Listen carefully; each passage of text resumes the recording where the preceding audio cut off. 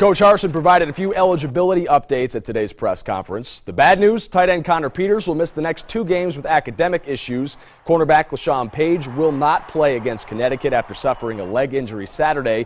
The good news is that everyone else who was dinged up in the CSU game has a chance to come back, including Mario Yakoo and Rees Odhiambo, as well as corners Bryan Douglas and Donte Deayon.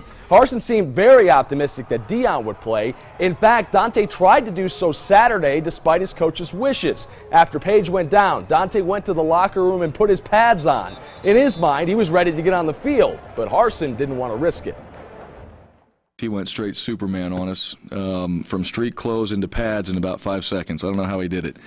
Uh, I turned around and he's he's kind of high kneeing it, and I'm I'm going, "What are you doing?" I just kind of looked at him, and he looked at me, and I'm just going, "Are you serious?" And he's like, "Yep, I'm ready to go." so uh, I laugh about it now because it's it's it's one of those you're in the moment, and it's not really that funny at the time because the situation afterwards is it's abs- it's pretty hilarious.